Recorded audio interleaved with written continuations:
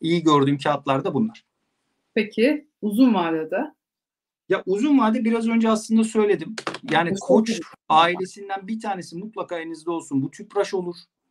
Bu Koç Holding olur. Elinizde mutlaka bu olsun. Ben uzun vade e, hani köşeye biriktireceğim kağıtlardan biri mutlaka Tüpraş ve Koç Holding olur.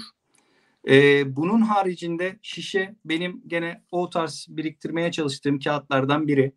Her türlü olaya rağmen Ereğli uzun vadede elinizde mutlaka özellikle 32'lere doğru çekildikçe almanız gereken, uzun vade taşımanız gereken şirketlerden biri diye düşünüyorum tekrar.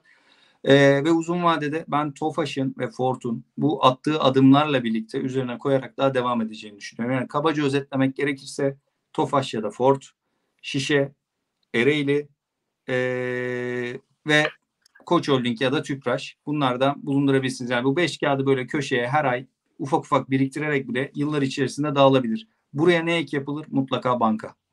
Yani elinizde mutlaka Akbank ya da Garanti olsun.